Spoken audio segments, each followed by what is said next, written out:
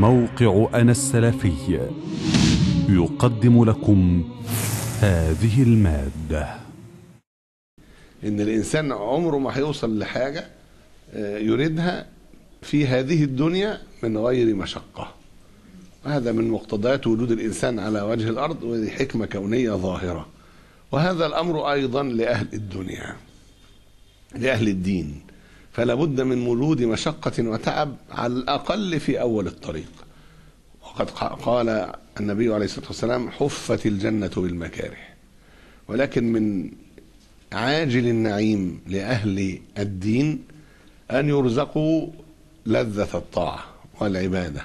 لكن أيضا ذلك لن يتم إلى إلا على جسر التعب. لن يكابد يعني لن يستطيع أن يستمتع بقيام الليل دون أن يكابده أولا. ولن يجد لذة في الصيام إلا بأن يتحمل الجوع والعطش آه، والحرمان أولا ثم بعد ذلك يرزق لذة الذكر والعبادة والطاعة فيفعلها وهو مسرور من عاجل النعيم. كما أن أهل الجنة يلهمون التسبيح كما تلهمون النفس. فهذا ليس تكليفا بل تلذذا. بتسبيح الله عز وجل. وكذا كل أنواع العبادات. الإنسان اللي بيصلي لما يخشع في صلاته يبقى يبقى أرحنا بها. جعلت قرة عيني في الصلاة. قال النبي صلى الله عليه وسلم أرحنا بها يا بلال. الكلام ده الأول الإنسان يفضل واقف ويبقى تعبان. وهكذا يجد هذا الأمر في الاعتكاف وقيام الليل في رمضان والناس تقول لك يا عم خفف يا عم. يا سيدي الناس مش مستحملة والناس عايزة وراها مشاغل وكفاية ربعين.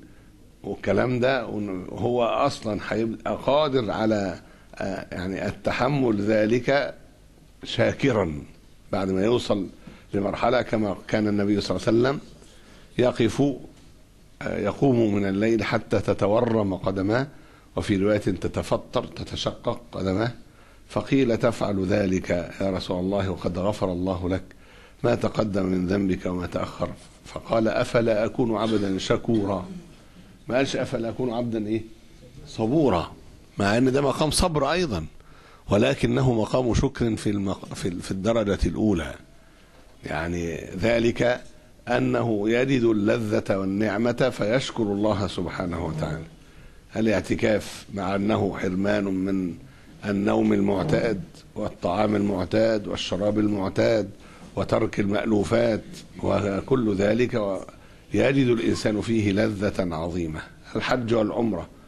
أهل يعني يعني الحج والعمرة من أطاعوا الله في ذلك يجدون لذات عظيمة بعد تحمل التعب على جسر التعب. طب ليه بيجي تعب؟ لأن الإنسان على بال ما يوصل ويرتقي إلى العلم والعدل بيمر بمراحل مر بها من الظلم والجهل. إنه كان ظلوما جهولا. ف الحاجة اللي بتتعمل ليس على الوجه الأكمل الذي شرعه الله سبحانه وتعالى لابد أن يرد فيها نوع من من التعب والمشقة. كما قال النبي عليه الصلاة والسلام في قول الله عز وجل فلما جاوزا قال لفتاه آتنا غداءنا لقد لقينا من سفرنا هذا نصبا. قال النبي صلى الله عليه وسلم وما وجد موسى النصب حتى جاوز المكان الذي أمر به. إحنا بقى الصلاة بتاعتنا لو هي فيها من أولها خشوع على الوجه الكامل لما وجد الإنسان التعب. ولما شعر بتشقق قدماه لو تشققت.